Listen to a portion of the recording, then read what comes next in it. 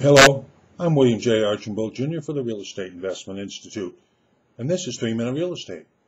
Today's word is agency agreement, buyer's broker contract, listing the buyer. Many of you are reluctant to do so, and many buyers are reluctant to sign such an agreement. Why? First of all, you overreach. You ask for a six month listing with people that have never met you before. Six hours would be sufficient if you're going out immediately to show properties. A weekend is reasonable if you're meeting with the people over the weekend. The first contract should be very short. People will lose their reluctance.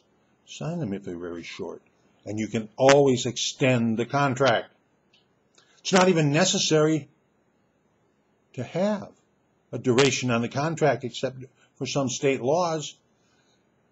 Contract can be limited to the properties that you disclose, to the properties that you show the buyer. Next is service area. You should never list more area, location, if you will, eh, for this property than your local service area. The three most important words in real estate are said to be location, location, location. They don't want an agent or to be obligated to an agent outside of his service area, outside of his expertise. The purpose.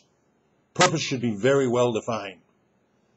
If their people are looking for a personal home, that should be the restriction on the contract.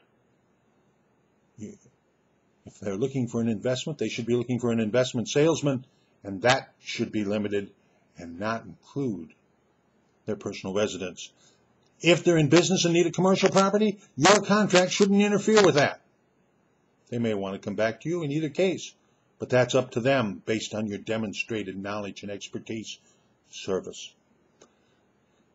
Most important to you, the agent, the protection period.